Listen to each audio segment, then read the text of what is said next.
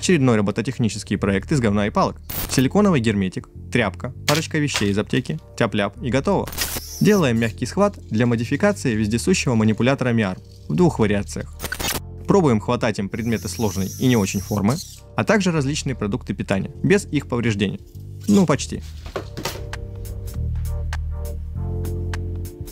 Здрасте! Добро пожаловать на канал про гребаных роботов и приятного просмотра. Немного предыстории. Тащим-то для одного проекта по OpenCV мне нужен был небольшой, но длинный манипулятор с рабочей зоной и радиусом где-то 25-30 см. Поднимать он будет детальки по весу небольшого болта.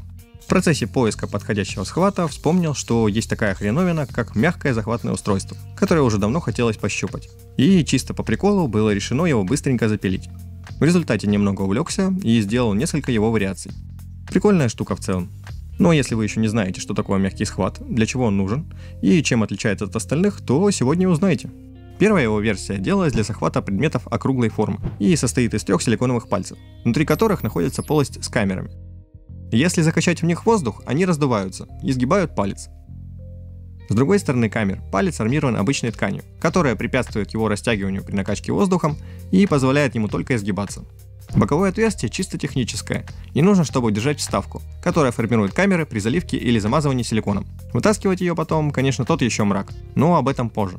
Дальше боковое отверстие просто затыкается пробкой, а воздух подается через верхнее отверстие.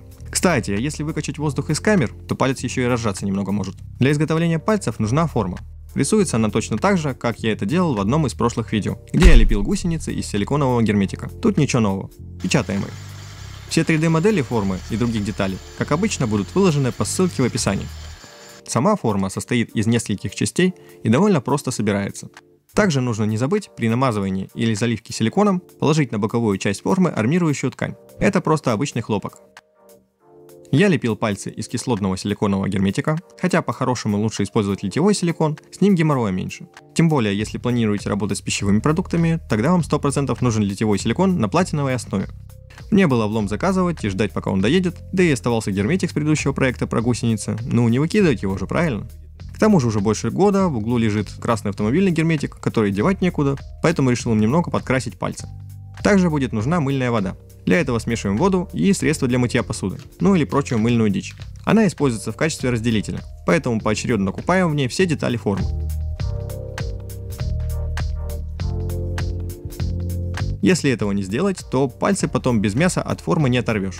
Плюсом будем использовать мыльную воду для ускорения отверждения силикона. В остальном процесс похож на изготовление гусениц из одного моего прошлого видео.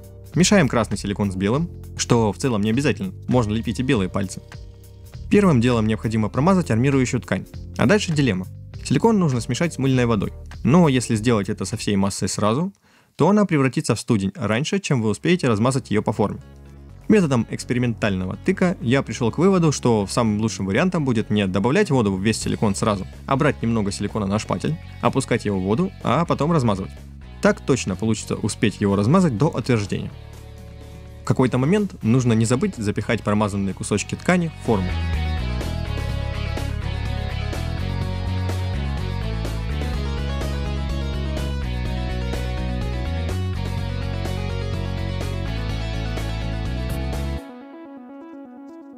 Когда все размазали, соединяем половинки форму, выдавливая лишнее.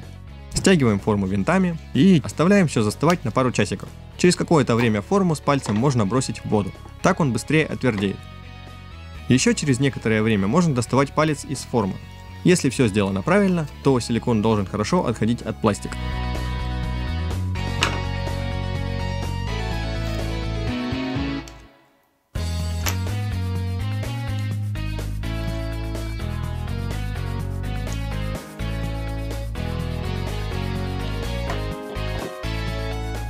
Лишние ошметки силикона можно обрезать. Бокорезами делать это очень удобно.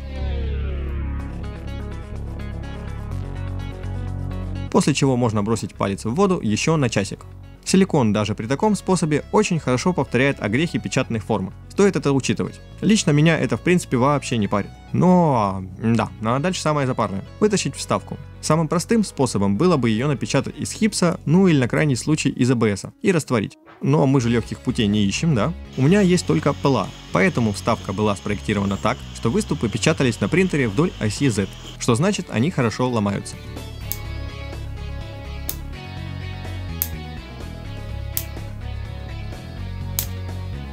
Далее основная часть вставки вытягивается, а ее обломки вытаскиваются пинцетом. Собственно, в готовом пальце мы это и повторяем. Нужно лишь почувствовать себя немного хирургом. Стоит заметить, что в форме между двумя вставками есть небольшой зазор, и в пальце эти отверстия не соединены, поэтому берем сверло и аккуратно пробиваем отверстие. Работоспособность можно тут же проверить шприцом, зажав руками техническое отверстие. Небольшие раковины, дырки и огрехи можно замазать свеженьким герметиком. У меня он отлично пристает к пальцу даже спустя месяц. К слову, если все-таки использовать литьевой силикон, то форму можно не переделывать. Необходимо только чем-нибудь заклеить нижнее отверстие и рассверлить одно из верхних, в которое и заливать силикон. Возвращаемся к пальцу и затыкаем его напечатанной пробкой, после чего запихиваем палец в держатель, который будет его прижимать винтом к звену.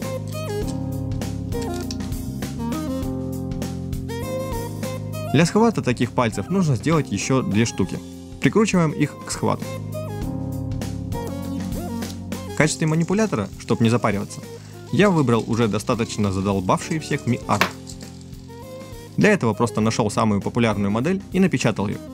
По электронике. Сервы рулятся Arduino через PCA, управляющие команды шлются с компьютера через Bluetooth модуль, и питается все это 12 вольт через понижайку. С манипулятора снимаем родной схват, он нам не понадобится. Свои схваты я проектировал как модификаторы, чтобы они без проблем контачили с манипулятором. Ну, то есть крепление у них одинаковое. Прифигачиваем его к манипулятору. Теперь берем капельницу и шприц, который будет выступать в качестве поршня, и соединяем все три пальца через вот такой вот разветвитель. Для этого отрезаем от капельницы лишнее и оставляем только трубку. Отрезаем от нее три небольших кусочка, которые объединяем разветвителем вместе с основным выводом. Тут вылезла еще одна проблема. Сколько бы я ни пытался напечатать разветвитель сразу герметичным, нифига у меня это не получалось. А пытался я много. В итоге забил и решил залить соединение соплеклеем для стопроцентной герметичности. Не эстетично, но практично. Вставляем трубки в пальцы и крепим все к манипулятору. Тут я, естественно, снова накосячил и погнул все, что можно, что потом пришлось исправлять. Но об этом позже. Шприц используется для нагнетания и выкачивания воздуха. Но, я думаю, вы задаетесь вопросом, а как этим делом управлять? Для этих делов я решил слепить инжектор. Основные его детали печатаются на 3D принтере. В качестве направляющих используются два гвоздя с диаметром 4 мм и 6 миллиметровая шпилька в качестве ходового винта. Режем гвозди, чтобы получить валы.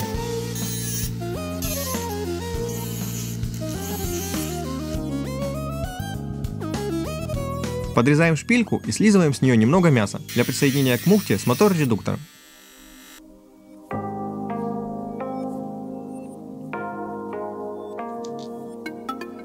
А дальше собираем сам инжектор.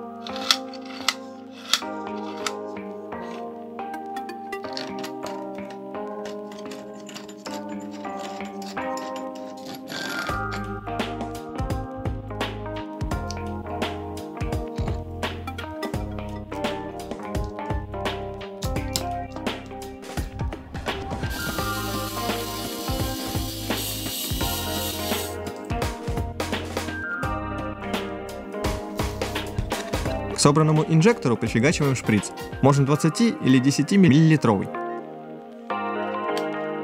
Управлять инжектором изначально было решено при помощи маленького драйвера двигателей MX1508. Но тут я облажался, забыв, что драйвер работает с напряжением до 10 вольт. А у меня все заложено под 12 вольт. Естественно, при пробном пуске он отдал концы. Так что предлагаю его красиво дожечь. Забавный факт. Это первая за 5 лет моей работы плата, которую я спалил. И довольно приятно, что это оказался драйвер за 50 рублей, а не какая-нибудь малинка. Сначала я решил заменить драйвер на аналогичный и выставить блок питания на 9 вольт. В целом можно и так, но мой моторчик этого явно не оценил и сказал, что ему так тяжело. Хотя он и так нещадно эксплуатируется, ну, потому что он 3-вольтовый. А, конечно, есть такие же моторчики на 12 вольт помощнее, но их нужно заказывать и ждать. Ну а как вы помните, мне влом. Поэтому просто берем драйвер пожирнее на 12 вольт и используем его. Сколько-нибудь да поживет. Регулировать ход шприца можно при помощи оптических или обычных концевиков. Проведем первые тесты. Да, яйцо для манипулятора немного тяжеловато. Не беда, поправим это дело, приклеив манипулятор к столу. Плюсом есть проблема с герметичностью. Ну что ж, первый шаг к исправлению проблемы – это определить, где находится проблема. Поэтому заливаем хват водой и поддаем воздуха. И ясно видим, что дело в пробке. Поэтому разбираем схват и используем герметик по назначению, а именно герметизируем. Делаем это на всех трех пальцах, после чего собираем все взад. Также решил поменять трубку, так как помимо неэстетического вида, перегибы мешают циркуляции воздуха. Схват готов. Ну что, похватаем что-нибудь?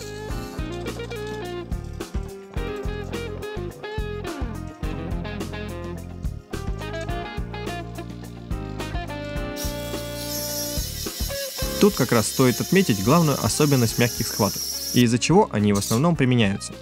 При захвате ими практически невозможно смять или как-то повредить мягкие или хрупкие объекты.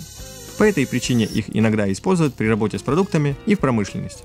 Ну вот, например, схватим уже битое куриное яйцо, поврежденное в процессе нещадных прошлых тестов.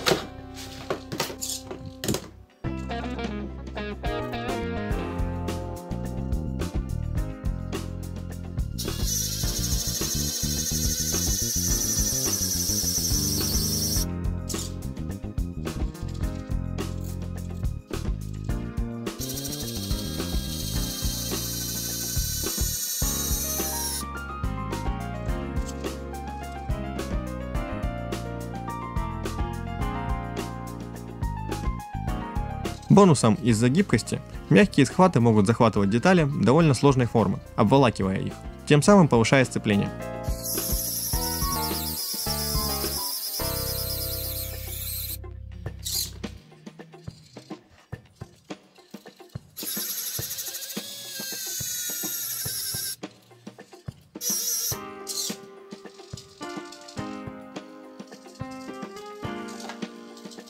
Еще один профит в том, что можно до бесконечности увеличивать количество пальцев на схвате менять его геометрию.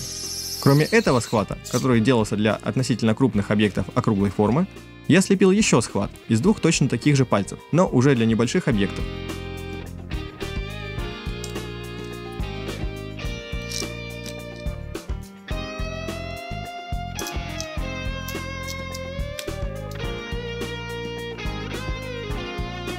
Единственное, что нужно поменять, это трубку с разветвителем. А в остальном он очень просто заменяется.